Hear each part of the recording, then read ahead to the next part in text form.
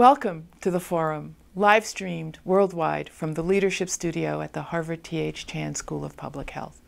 I'm Dean Michelle Williams. The forum is a collaboration between the Harvard Chan School and independent news media. Each program features a panel of experts addressing some of today's most pressing public health issues. The forum is one way the school advances the frontiers of public health and makes scientific insights accessible to policymakers and the public. I hope you find this program engaging and informative. Thank you for joining us.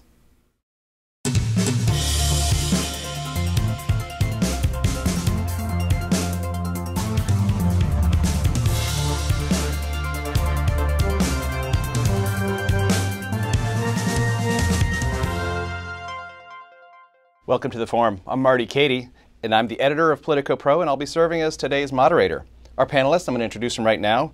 To my immediate right are Bob Blendon, professor of health policy and political analysis at the Harvard T.H. Chan School of Public Health and the Harvard Kennedy School.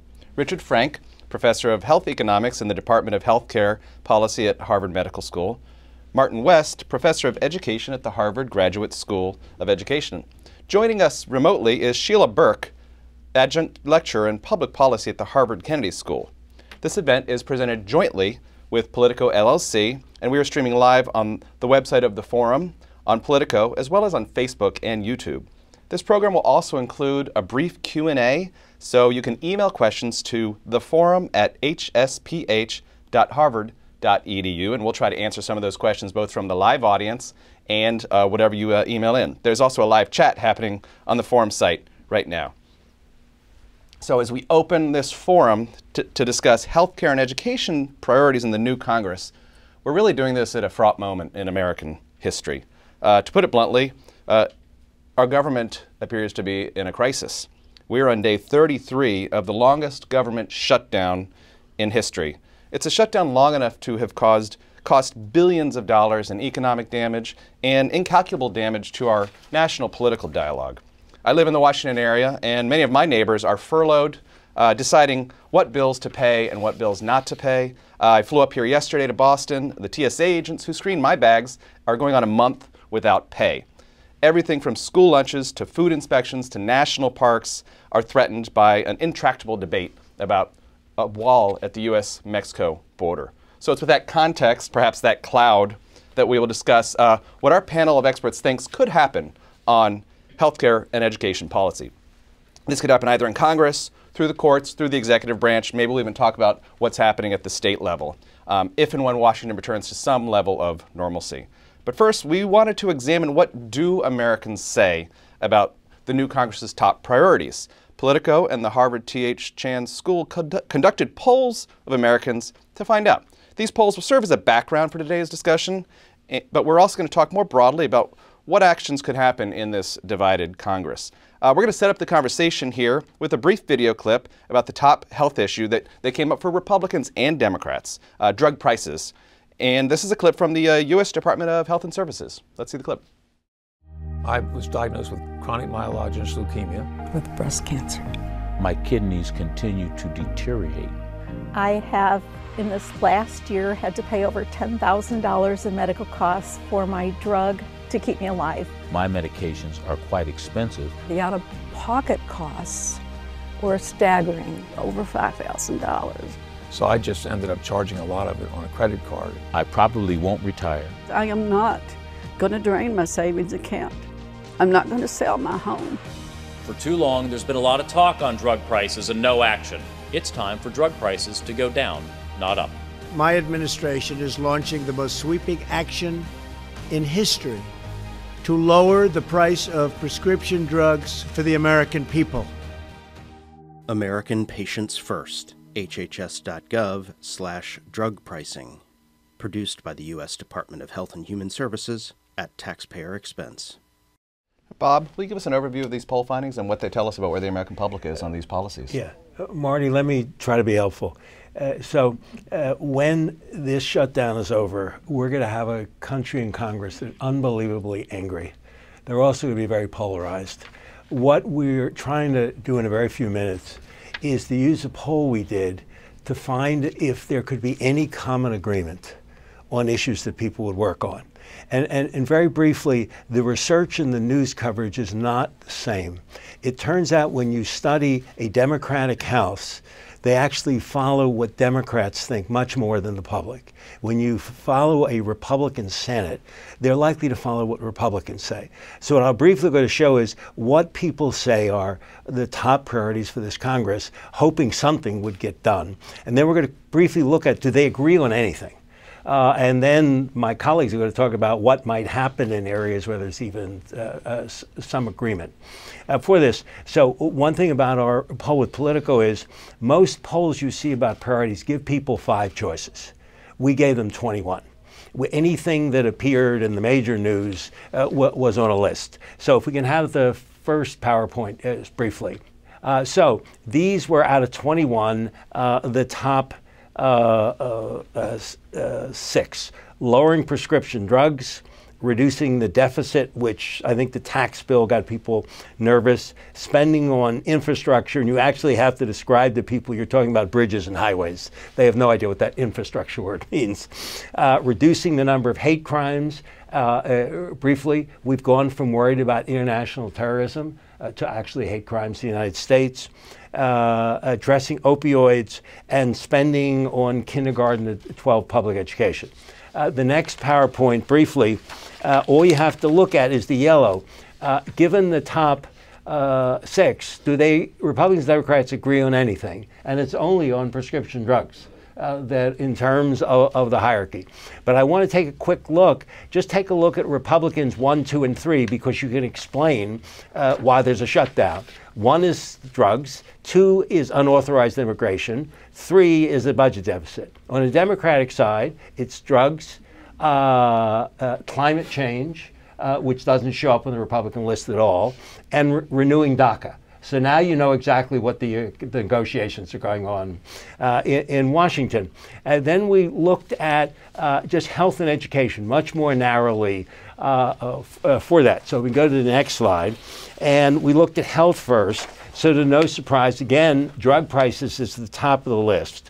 Uh, but what showed up in the election is here uh, an idea that it was only an insurance term protecting people with serious illnesses is now so much in the core uh, uh of American life. And to the surprise of everybody, it was an election issue, but both, uh, you'll see in a minute, Republicans and Democrats do not want Medicare touched. Uh, lowering overall health care costs and biomedical research. So, is there any agreement between the parties? Next slide. And so it turns out in the health areas, there's more agreement. What don't they agree on? Republicans are high on reducing health care costs uh, and veterans, and they don't show up on the Democratic list. Uh, and uh, Democrats are high uh, on fixing the ACA, uh, uh, but not on the Republican list.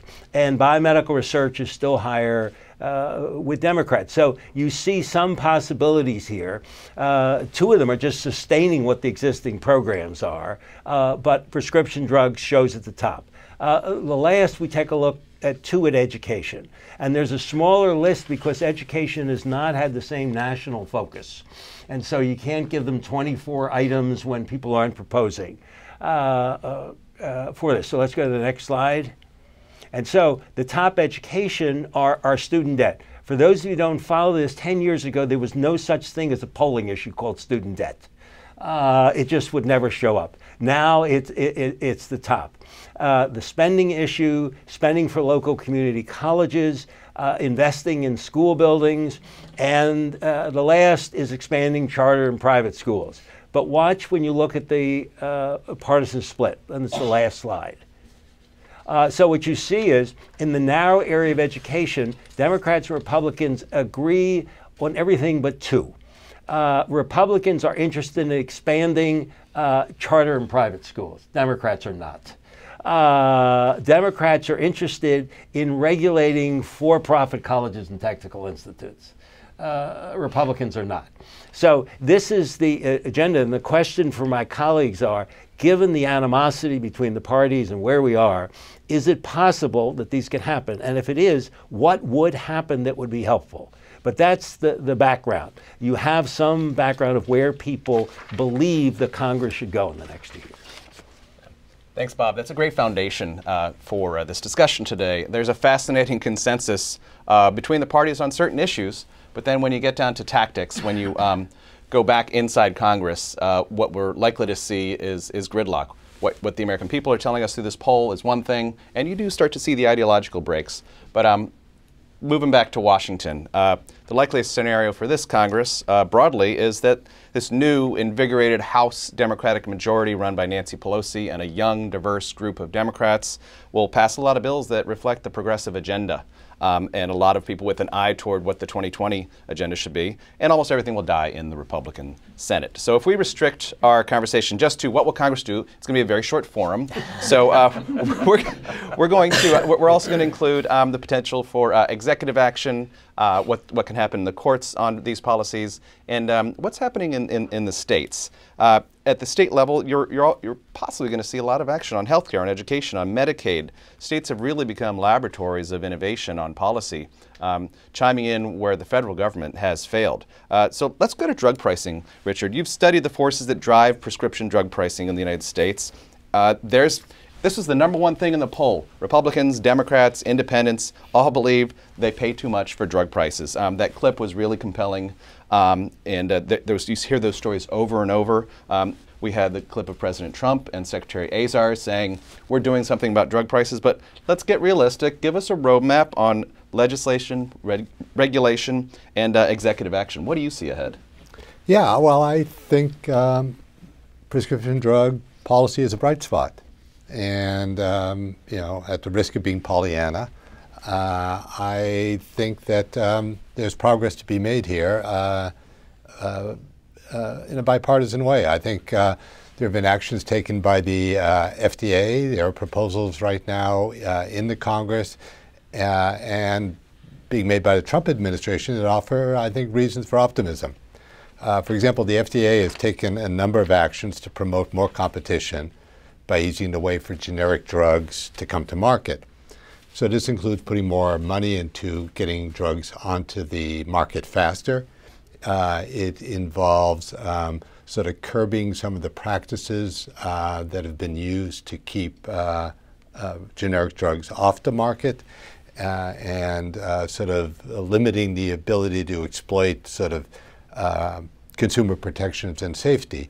and so I think that um, they've taken some good uh, first steps, and there are now bipartisan proposals uh, sort of working their way through the Congress uh, that will build on that. Uh, you know, one example is a thing called the CREATES Act, which is really aimed at um, uh, taking a bipartisan approach to curbing anti-competitive actions that make it harder for generic drugs to show that they're bioequivalent, that they're equally uh, effective. And um, that uh, that bill, I think, is going to come up. I and I'm very optimistic that it'll it'll pass, and it will make a difference. It will save billions of dollars. Um, a related policy domain is in the area of competition for biologic drugs, where we have the possibility of uh, a new class, a new set of drugs called biosimilars, which are like generics but for biological drugs and the FDA has been uh, slow in getting uh, the regulations to bring those to market. But uh, there's impatience on both the Democratic and the Republican side, and um, you see us trying to learn lessons from Europe here to get those drugs to market quicker, and again, save billions of dollars because all the really expensive drugs that you read about in the newspaper every day, for the most part, are biologics. And so that's a great place to save. A um, couple of other areas where I think, um, uh, in a sense, there's low-hanging fruit. Uh, one is uh, anti-gouging legislation. There are several bills in Congress right now. I think it's a real, it's an easy one. Uh, here we are in the middle of an opioid crisis, and we have some of the most effective drugs being jacked up about 600% a year. And I think that uh, people on both sides of the aisle are outraged by that. And uh, so I think that uh, offers a possibility. And then finally, I think uh, one of the things that came through loud and clear in the election is that um, uh, wholesalers, manufacturers, pharmacy benefit managers all make money from the way that prices are set. The people that get hurt by the price setting arrangements are consumers because they pay list prices and don't share in the actual transaction prices post rebate. And I think, uh, again, both sides of the aisle say we've got to do something to fix this and allow the consumers to share in the uh, sort of cost effective uh, gains that we've made. Well, uh, thanks for your optimism sure. in this moment of, uh, yes. of, of, gridlock. Uh, it's unusual when the president, the, the Republican Senate, and the House uh, Democrats might actually agree on something. So um, maybe you, you've got a more optimistic outlook than a lot of folks here. Uh, two other health issues we want to uh, touch on here that, that came up in the polls. Americans are overwhelmingly concerned, overwhelmingly concerned with protecting Medicare and keeping coverage for pre-existing conditions. this is across the board, rhetorically, but as Sheila knows, when you, when you dig into the actual bills, especially some of the Republican bills, there are some um, cheaper, sort of off brand uh, insurance plans that might not uh, cover pre existing conditions. Uh, Sheila, can you talk a little bit about those two priorities and what you expect to see here? And feel free to cover Congress, executive action, uh, wherever you see the, the, the roadmap ahead on this. Thanks so much, Marty, uh, and thanks for including me today. Uh, Medicare, as Bob knows and, and Richard certainly knows, remains enormously popular uh, among the American public, and it is approached with great caution by both sides of the aisle uh, and both bodies. Uh, while the House leadership, the new leadership, is inevitably going to raise a number of the suggestions about Medicare buy ins and Medicare for all, uh, and will no doubt try and respond to those issues that arose during the course of the election. Uh, I think it is unlikely that any major moves will be made with respect to the Medicare program on either side of the aisle. Uh, unfortunately, or fortunately, we are already in the 20 cycle, so people are already looking towards the 20 elections, and I think they approach Medicare and the suggestion of doing anything to Medicare that will alter it any dramatic way essentially will fall flat. Uh, but I think there is going to be real focus on strengthening the program and I think there'll be discussions that take place about what might one do with respect to the current structure of the program, which has remained largely intact since 1965. Um, certainly, incremental changes may well be discussed. Uh, drugs, as Richard has suggested, there's a big piece of the Medicare program and a lot of the discussion around drug reform, which has to do with the cost of drugs to Medicare beneficiaries. So we already know the administration and the Congress has begun to look at some of those questions around negotiation, around the price point, around rebate strategies. Uh, but there are also other elements of the Medicare program that people have talked about strengthening. There are a bucket of things that Medicare does not currently cover that people have suggested really need to be added to the program. Issues around dental coverage, interestingly enough, vision coverage, hearing coverage. Um, and really the out of pocket costs because there's no real catastrophic protection for folks that are in the traditional Medicare program. So I think there'll be attention given to some of those issues by Democrats and Republicans. Uh, I also think there'll be efforts to try and simplify the program. The Medicare Advantage program, which is the managed care piece of the program, now has about 30% of the population enrolled in those programs. And there are questions about simplifying that program, uh, about access issues, issues like telehealth and other opportunities to essentially make services more readily available. Uh, one of the other interesting questions that may arise are over the historic Stark rules uh, about uh, essentially the protections under HIPAA and Stark and whether they are inhibiting the development of organized programs. Both the administration and many others are interested in getting Medicare beneficiaries into organized systems of care, believing that coordinated care, in fact, will improve the health of our elderly and disabled citizens. So there'll be attention to those kinds of questions. Senator Grassley uh, the incoming chairman of the Senate Finance Committee, who had been chairman previously, uh, has a long-standing interest in oversight uh, and has indicated already his interest in looking at the Medicare program, looking at fraud and abuse, looking at the cost of the program. I fully expect he will do that. Uh, incoming chairman of Ways and Means, Mr. Neal, has also indicated an interest in looking at oversight, but also interesting looking at what the administration's doing in terms of demonstrations with respect to the Medicare and Medicaid programs, but particularly the Medicare program, and wanting greater transparency over what in fact might occur. With respect to essentially pre existing conditions, in sort of my short comments, um, a couple of things come to mind. One is people are increasingly sensitive to the increasing number of the uninsured. We're upwards of 13.7 uh, or almost 14% now uninsured, so those numbers are going up. So the question about pre-existing, the question about coverage availability is one that in fact is of concern on both sides of the aisle. As Bob has suggested, deep divisions over the fundamentals of the ACA. Of course, we have the Texas court case, which has called into question the fundamentals of the ACA, uh, although it is on pause as a result, frankly, of the uh, of the shutdown. Uh, but on January the 29th, the Ways and Means Committee has scheduled a hearing on oversight essentially looking at the pre existing condition issue, uh, looking at what those solutions might be. And it is the one piece uh, where, in fact, both Democrats and Republicans seem to have an interest in finding a resolution. Uh, as to what one might do to that. The president has sent sort of mixed signals. Uh, he wants to be sure they're covered, but then, of course, they put forward the short term plans, uh, which will be permitted to avoid any of the requirements under the ACA. So, those questions, the questions of what the administration is doing on a regulatory basis, as well as legislative attempts to try and fix that issue, I think will be on the agenda for both the House and the Senate. Thanks, Sheila. And uh, we'll be coming back to a lot of the politics of, of the ACA and, and the future uh, as, as this uh, panel goes on. But uh, we're going to shift to education here. Uh, another perhaps a bright spot in the poll uh, in a country so bitterly divided over politics. Uh, there was some unity on increasing spending on K through 12 education, on uh, funding for community college, and uh, overwhelming concern about student debt. Uh, that's where there's unity. The tactics on how to, what to do about it, is where the, the it sort of falls apart. Martin, um, thanks for coming on here. You're our education expert. What's the outlook for Congress and the executive branch on education policy uh, on, on these various topics? Well, thanks for having me. Let me start with the issue of increasing spending on K 12 education, where despite the very interesting poll results, I think you're very unlikely to see much in the way of substantive change.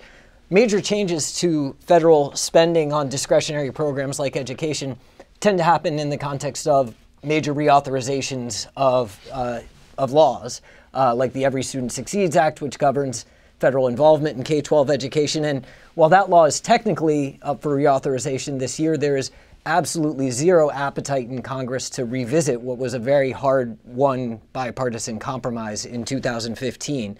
And I think the overall budget picture, which includes the threat of sequestration cuts if there's no new budget agreement, means that those who are pushing for increases in any discretionary spending category have very, very little leverage. Um, now, in, in making that prediction, I should note two caveats.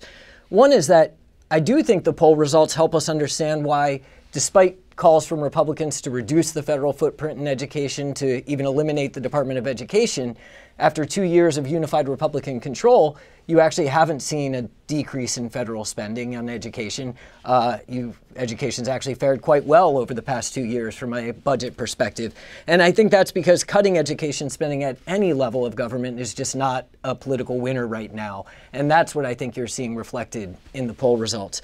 And the, the second caveat is that it's very important to keep in mind that the federal government is just a 10% investor or less in K 12 education. Uh, and so that means even any a very substantial increase or reduction in federal spending on K 12 education doesn't really translate into a major change in the level of resources available uh, in a given school. Uh, as in most aspects of our education system, the real action is at the state and local level, and you have seen increased activism uh, around issues of school funding and teacher salaries uh, in, in the past year that we can return to later. Now, on student loans, I think it's important here to distinguish between efforts to reduce the debt load of students, former students who are currently repaying loans, and efforts to fix the student loan system going forward. The former may be a desirable goal, uh, particularly as concerns mount that debt loads may be holding back the economy. And I suspect you'll hear Democratic presidential candidates talking about that a lot on the uh, campaign trail. Um, but it does nothing to increase access for students to higher education going forward. On the, on the latter, this question of actually increasing access, I think the big question is whether Congress is going to be able to reach agreement on a reauthorization of the Higher Education Act. And there, the major player is Senator Lamar Alexander from Tennessee. He's a former Secretary of Education, former university president. He's recently announced that he's not running for reelection in 2020. He wants to go out with a legacy bill, and this would be the opportunity to do that he's made, I think, good progress in creating some bipartisan consensus around the goal of simplifying the federal financial aid system and creating some accountability for colleges by putting them on the hook if their students don't repay their loans. Um, I think the big question then is whether the areas where there's not bipartisan consensus, questions like campus safety and sexual assault, federal regulation of that under Title IX, whether they will get in the way of the ability to reach a, a, a deal going forward. The other prediction that I think it's very safe to make uh, with respect to the new Congress is just that you'll see a ramped up oversight function in the House of Representatives uh, with respect to the Department of Education. So, incoming chair of the Education and Labor Committee, Bobby Scott from Virginia, has indicated that you know, he's going to be holding hearings. He's going to be requesting information uh, from the department, particularly with respect to issues of civil rights protections in schools and the regulation of for profit colleges. Uh, these are areas where the Trump administration has made some significant changes through executive action to Obama era policies. And I think you'll see a lot of examination of those areas uh, over the months to come. Well, um, as we've heard, uh, thank you, Martin. Um, the student loan debt is a big burden for many Americans. Uh, we've got another clip uh, here. This is this clip is from the nonprofit Student Debt Crisis. Uh, let, us roll that clip and then uh, discuss. I am 30 years old, and I am currently $38,500 in student loan debt. I am in student loan debt. $23,522.01 of student loan debt. I'm 29 years old and I have $60,000 in student loan debt. $70,026 of student loan debt. $44,000 of student loan money to get my master's degree. Today I owe $89,000. Hi, I'm Congressman Eric Swalwell, and I represent the 15th District in California. I have about $100,000 in student loan debt. I've worked at times four jobs. I've been making thousands of dollars worth of payments and I'm barely keeping up with the interest. It was 250 a month. My car payment was 180 a month. I do not want to be paying off my student loan when I'm 80, when I'm 70, when I'm 60. That's a uh, pretty sobering clip yeah. um, and uh, really a wide range of, of, people talking, a wide range of ages too. So this is clearly a, a national problem. Um, it, it's a crisis for a lot of Americans, crisis for parents trying to save, um, adults trying to pay it off. Um, can you talk a little bit more about some of the um, options for this? You, you mentioned um, Lamar Alexander's um, higher education bill, and would that impact this at all, or are there other uh, innovative ideas around student debt? I think that's an important topic, especially in a higher education setting here. Yeah, I think it's uh, important as we start talking about the student debt issue to make sure that we have a good understanding of where the problem is most severe. And it turns out that if you look at who's struggling in terms of repayment, who's defaulting on their student loans, is generally not those borrowers who have significant debts, those who have borrowed to go to a four year school, especially those who borrow to go to graduate school, who tend to have the largest debt loads uh, and ultimately tend to uh, be very successful economically and to be able to manage that repayment burden. Uh, where the problem is most severe uh, is people who have very modest loan amounts, generally under $20,000, who have borrowed to attend a career uh, training program, maybe in the for profit sector, have failed to complete it, failed to transition into the workforce. They're the ones who are really defaulting on their loans. Uh, and so I think the reason it's important to keep that in mind is that any sort of across the board debt relief proposal is likely to be quite regressive in its impact ultimately. Uh, and so I think that's where there's a need for uh, some creative thinking, as you say. Uh, the idea that's really emerged in higher education over the past couple of decades is the idea of income contingent repayment plans. So basing the amount that you repay uh, to some degree on your income. and uh, this would you know target assistance where it's most needed. Uh, the reason it makes sense from a economic perspective is that college is generally still a very good investment. Uh, most people, as a result, are able to repay that loan uh, that they borrow, but it's also a risky investment. And uh, so I think um, uh, this is a good way to manage that risk. If it doesn't pay off for you, then you end up paying back less uh, and are less likely to go into default. Uh, you saw a big expansion in the availability of income based repayment plans under the Obama administration. And interestingly, this isn't an area where you've seen the Trump administration roll back those programs. Uh, I think, in the context of a potential congressional reauthorization of the Higher Education Act, you would see an attempt to really simplify and streamline the various options that are available to borrowers. They're ridiculously confusing right now. They require you to recertify your eligibility year to year, uh, and so they're not as widely used as they should be already. And so I think that's an area where you'd see a lot of thought. Well, uh, thank you, Martin. Um, great overview on um, student debt. Uh, I'd like to go back to Sheila uh, to uh, pick up on something you mentioned. Uh, the ACA lawsuit, the, basically the entire ACA was thrown out um, by a Texas judge back in mid-December. Um, it's caught up in, in, in the courts now, and um, I think a lot of people were, were caught off, off guard with that. Um, it was thrown out a technicality, but uh, that was an ideological uh, decision, but one that uh, still reveals the ongoing legal fragility of Obamacare. We are uh, almost 10 years into this, this law, and um, it's extraordinary, I think, to, to people who don't follow this, that um, a lower court judge can um, try to toss the entire law um, out. Uh, and uh, it'll go through the courts. But what is your outlook on that and any other legal challenges to Obamacare? I know one of the questions pending from our online audience is whether Obamacare is here to stay. Um, I don't know the answer, but maybe you can uh, you can jump in there a little bit. I'm not sure any of us really know the answer. I mean, I guess I would posit that is it in fact here to stay. Um, but in fact, the court case did catch us by surprise. It, of course, is being appealed. Uh, the appeal is obviously on hold uh, while the um, while we're in this break period. Uh, but I think there is an ongoing set of challenges. Certainly, there are the court challenges which are being appealed, but there's also the ongoing efforts on the part of the administration uh, with respect to the program that occur in a regulatory or an administrative way uh, that we continue to see, whether it's shortening the period of enrollment, whether it is uh, basically ceasing the funding for much of the outreach activities. Uh, so there's no question that there are efforts going on and will continue to take place. At the same time, I think there's an acknowledgement that there are elements of the ACA, had they been given the opportunity to repair or to fix the original legislation, uh, that folks would have liked to have go forward. Uh, there's an obvious question as to the benefit structure in the ACA and the fullness of the benefits and whether, in fact, that ought to be revisited.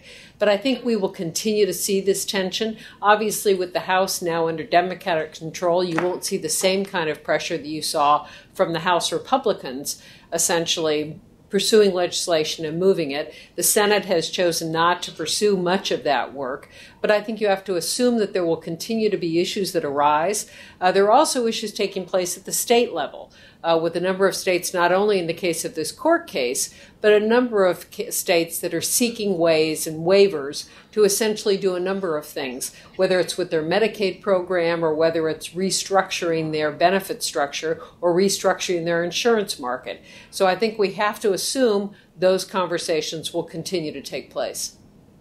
Thanks, Sheila. Um, Richard, I want to go back to you on, on the question of, of drug pricing. I'm curious um, what the industry's approach is going to be. They're going to get hauled up to the hill, and um, uh, Democrats certainly love to have uh, pharmaceutical um, executives up there taking the oath and talking about, you know, being asked why um, insulin uh, costs, you know, so much. Uh, so, uh, can you talk a little bit about industry strategy when it comes to dealing with the politics of drug prices? Well, yeah, we just saw a report that came out um, that well, I guess this past year has been the uh, biggest uh, lobbying expenditure year in, in, quite a while. I think it was around $26 million was spent uh, uh, by big pharma uh, lobbying. So, you know, uh, clearly they're not uh, standing still for this. And, you know, the I, I do think the actual picture has gotten more complicated. I mentioned earlier that there's this concern about why is it that everybody's making money on the backs of consumers.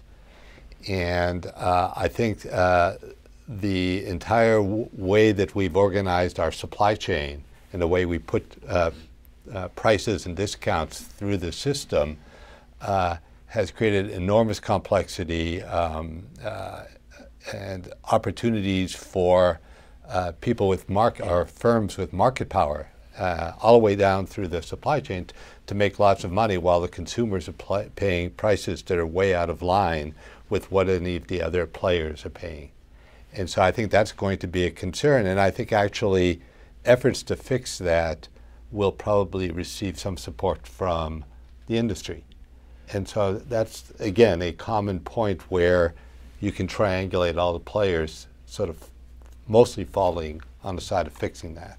Trump is very unpredictable, as we all know. Do you see him doing something unilaterally on, um, on drug prices uh, to make a substantive and political point?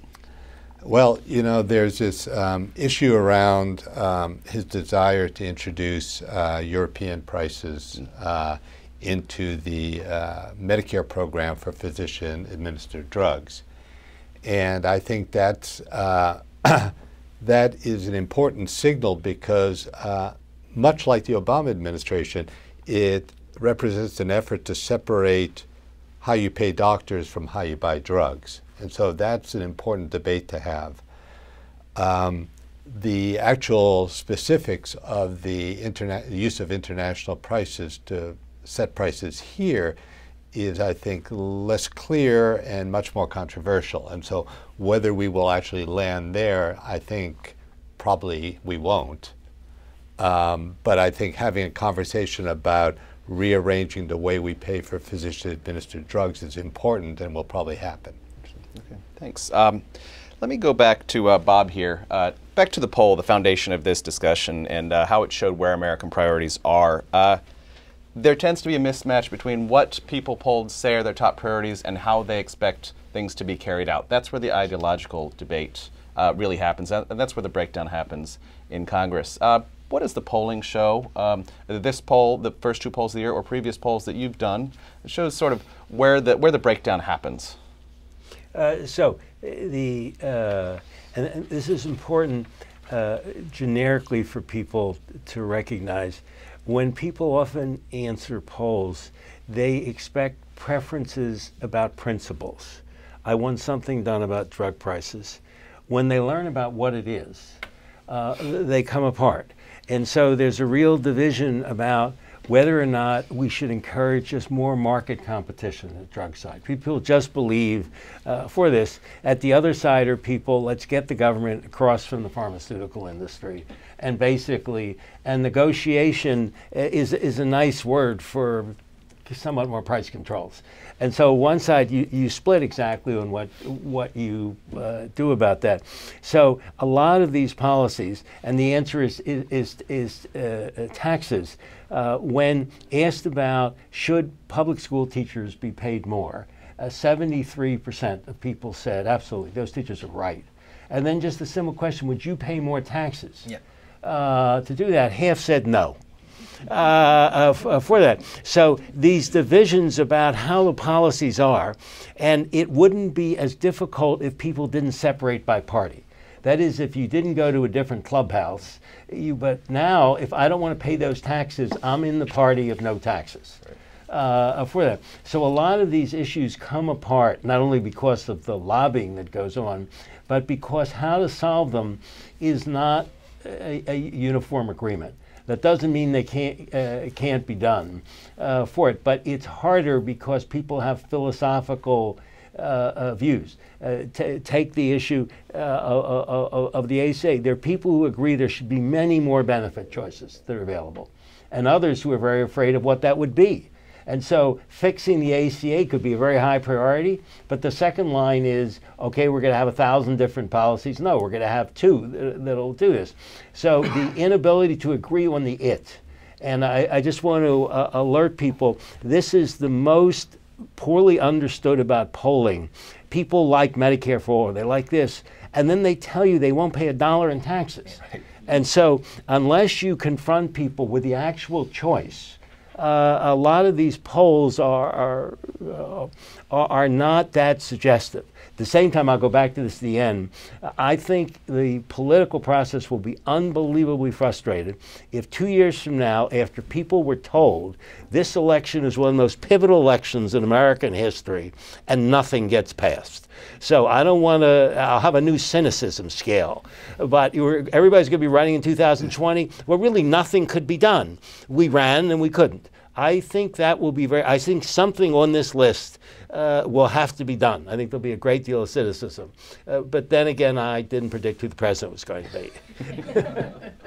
well, uh, let, us leave Washington for yes. a moment after that. On that note, uh, and discuss. I know this this panel is supposed to be about the uh, the role of Congress. We've uh, established um, the divisiveness and the gridlock. Uh, so I want to talk a little bit with, with each of the panelists, if, if you have just a moment to weigh in, um, about the role of states. Uh, states are, have become real innovators on policy. If you watched uh, Governor G Gavin Newsom's uh, inaugural in California, he's proposing, proposing free community college. Um, if you if you look at the state by state actions in K through 12 education and in higher ed, there's a lot of innovation. There's things that are working in both Republican run and Democratic run states. On health care, um, you know, I was telling our panelists beforehand, our Politico Pro policy reporters, we have a lot of people in Washington, but we are finding um, more interesting stories in California and in New York and Florida and in Indiana, uh, places that are experimenting with uh, different ways to handle the ACA. Um, California wants to expand it. Um, but you know, other other conservative states are trying to uh, have work requirements around around Medicaid. Uh, Indiana has passed uh, one of the most restrictive abortion laws in the country because they want to be the state that uh, makes the challenge against Roe v. Wade. So uh, maybe we can do a quick round robin with a few minutes left here before we go to our audience about what states you're watching and should our audience watch for like, hey, Washington is gridlocked. Here's here's what can actually happen that that, that could prove to be um, productive policy uh, move. Um, I'll start with you, Martin. Sure. I'll start with one of the issues that you just mentioned, which is the notion of free community college. That proposal has been made in California and some other states uh, by incoming governors. Uh, what's interesting about it uh, is that it's uh, a bipartisan issue, uh, leading the charge Tennessee, traditionally conservative state. Um, and one of the reasons it's attractive to states is because it's relatively inexpensive to do. Community college is already quite affordable, and uh, Pell Grant from the federal government covers much of uh, it for most students.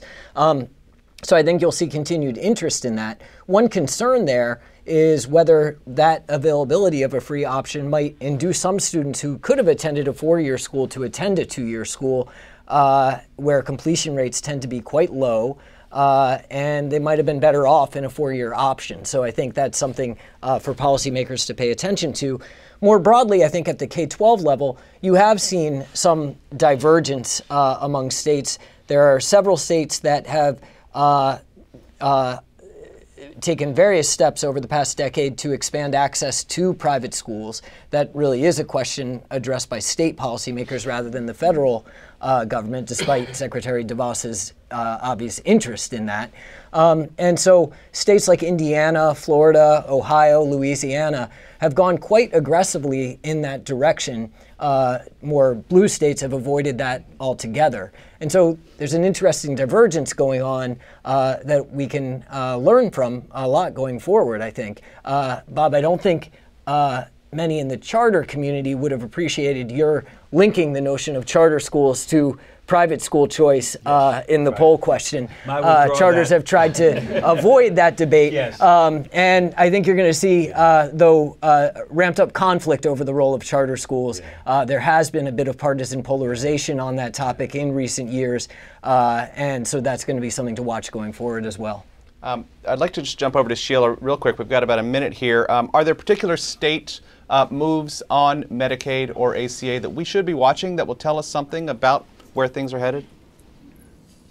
I, think, uh, Marty, as you suggested, there are a host of things taking place. Uh, certainly, Wisconsin uh, is an interesting state to watch that's looking to expand its Medicaid program. Uh, Colorado and New Mexico are both states that are looking to increase opportunities for coverage and are looking at public options and expansion. I think we also need to watch what the state insurance commissioners are doing in a variety of states, some of whom are trying to prevent the kind of changes that a short term plan uh, might result in in terms of their risk pools and essentially drawing people out of the ACA plans. Uh, obviously, California, as usual, sort of leading a series of efforts, including wanting to provide coverage for undocumented uh, immigrants. Uh, and that is similarly, you've got that's taking place in New York, both in the city as well as in the state. Uh, so I think there are really a host of activities. Arkansas, of course, has led the effort on the work requirements. Uh, we're now looking at data that's suggesting close to 18,000 people will have lost coverage. So I think they're really each of the states, either in Medicaid, either to expand or the work requirement issues, other waiver requests that are coming forward from a number of states in terms of flexibility uh, under the 1115 waivers. And I think we also have to keep an eye on what the feds are willing to do. That is, what the administration is willing to allow to go forward. Uh, and there's another court case before the Supreme Court, which is quite interesting, which is looking at CMS's authority with respect to its regulations and its pronouncements and what has to go through a public comment period. Uh, so, again, I think there's a great deal taking place at the state level. Good. Well, thank you. Um, the, the, Arkansas case is an interesting example of um, what sounds good on paper. Let's have work requirements if, if you're, especially if you're conservative, uh, for uh, Medicaid, and then 18,000 people end up getting kicked off. Don't know. I don't know if they intended that, but that's been the consequence. Uh, we're going to jump to some questions from both our online audience, and if we have time, uh, folks in our live audience can, can ask a question or two. Uh, there is one question about the poll, and uh, I'm, I'm, glad this is in here because it's an interesting one. It said the majority of Democrats uh, want to uh, repeal and pl- replace the ACA. And when you pause and say, wait a second, that's not right, it's because they want something bigger uh, Medicare for all, um, single payer, um, you know, maybe a, a European style um, plan. Uh, Bob, can you talk about? What the poll revealed on that question? Yeah, That is a question from our so, audience. A, a, terrific question. How, how, can you have people incredibly in favor of something for repealing it? So it, it turns out an accident of poll is if I want something bigger, I had no way to say that. So we looked at the second poll we did, and the results are if a Democrat said, I want repeal and replace, almost 80% wanted Medicare for all. Uh, they wanted universal coverage. What they were saying is the ACA is too anemic. As it is, I need something bigger. But we only gave them one question. So Republicans were answering, I want this thing shrunken. Uh, I want a lot of conservative, and the Democrats in it wanted to have a debate over Medicare for all. So we really, in the future, need to split that out. Uh, when you say that I want an alternative to the ACA, do you really want something larger and bigger that covers everybody, or do you really want something much more restricted? Uh, but our apologies to everybody. We got numerous emails about my, my neighbor is furiously in love uh, with Medicare for all and said they wanted to repeal the ACA. Can you clarify that? We have. Uh, there's a uh, specific question uh, uh from uh, an online participant here uh, that, who didn't provide their name, but for Richard, th- I don't want to duplicate what you've already talked about, but this person is asking since reducing drug prices is an area of consensus, what is the first actionable steps we'll see? I know you addressed some of the legislative options, but if there's something specific that um, people out there should see as a signal that there's actually something happening on this. Yeah, I think you're going to see um, a lot more being done, both in legislation and regulation, to get generics on the market quicker, mm-hmm. to get biosimilars on the market, to just really amp up the competition. I think uh, everybody agrees uh, uh, that that's a good thing, and we've seen uh, that when you do that, prices continue to fall. Um, and one for you, Martin. It's at the, uh, from, from one of our uh, online participants. Uh, the question is Given the student debt crisis, community colleges becoming increasingly more attractive, but it's still really expensive. What would have to be done at the federal level to make a difference in increasing access? Uh, this poll shows people are in favor of it.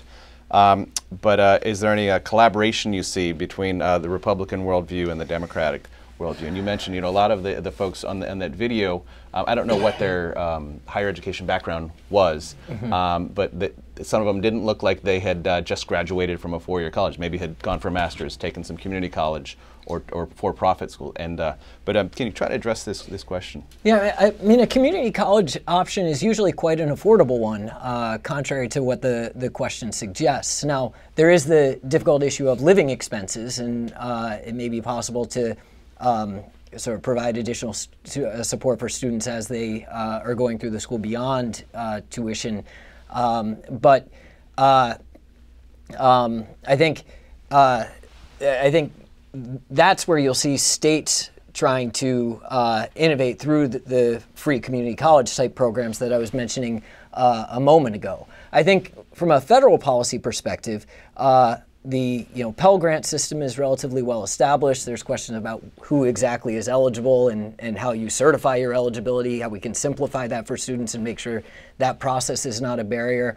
Um, but I think the real question is how do we give schools some skin in the game when it comes to student results, right? And uh, I think finding a way to hold them accountable for their student success in repaying their loans has to be part of that conversation. And, I think members of both parties have uh, come around to that view, sometimes reluctantly. Uh, the Obama administration really tried to advance that cause through something known as the gainful employment rules, which said that career focused programs, mostly in the for profit sector, uh, might lose their eligibility for federal financial aid if their students weren't successful in repaying their loans. There's been a lot of controversy around that proposal, uh, questions about its legality, its feasibility. The DeVos administration, uh, the Trump administration, Secretary DeVos, has has repealed that approach, um, and I think uh, I think that's where the action will be going forward. I think the key step will be to make sure that it applies to all colleges, including community colleges, rather than appearing to single out the for-profit sector, which I think was one of the challenges with the Obama approach. I want to put in a plug for a Politico story. Uh, we mentioned that Gavin Newsom, who's the governor of one of the more liberal states in the country, is pushing free community college. But we had a recent story in Politico about a, um, a community college in eastern Tennessee, um, it, which is a place that Trump won by a, uh 40 or 50 points that has uh, long had um, free community college. The, the name of the college is, is slipping though, but uh, look it up. It's a really interesting story on um, a policy that is working in a different part of the country. Uh, I'm going to throw a question to Sheila here from um, it's from Joyce Frieden, who is a news editor at MedPage Today. Hi, Joyce. Um, any thoughts on what might happen with the Medicaid program? Uh, she's specifically asking about whether the administration or congressional Republicans will push for block granting Medicaid. Um, that's a long-term conservative uh, priority. Block granting uh, federal money so that states can put their own ideological imprint on it is is something they'd love to do with Medicaid. Can you take that question? Sure, thank you. It's a terrific question. Uh, there has been a very recent story suggesting that the administration was going to allow states to essentially seek through a waiver process the ability to block grant uh, and give them full flexibility in terms of the design of their Medicaid program. The other form of this is a per capita cap.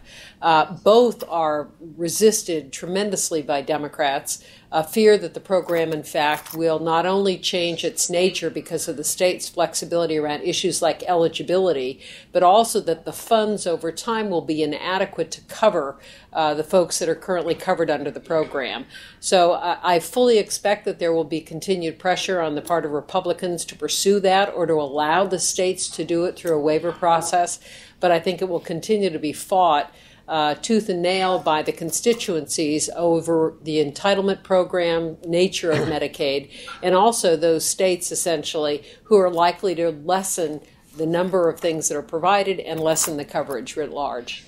But I assume it will come back up again. There's a question on uh, drug prices um, from, uh, from our online audience. Uh, what can be done to lower drug prices by reducing risk and inefficiency in drug development? For example, uh, this uh, questioner says that 90% of new drugs fail in phase three clinical trials. Um, so, what is the, the uh, improvement that uh, could happen during the clinical process? I don't know if that st- statistic is correct, but you can you can correct as you will. But um, that's an interesting question. A lot of the cost is built into the process, not just at the retail end.